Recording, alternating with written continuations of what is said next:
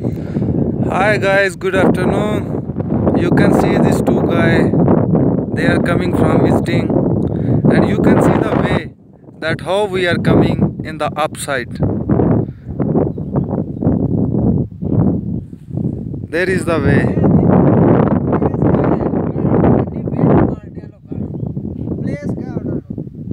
And this is the place that we are stay in the whole night here.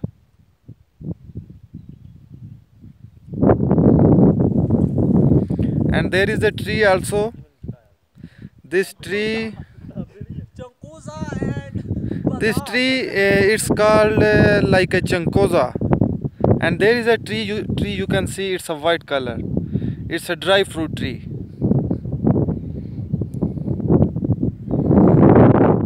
So hopefully you enjoy with us.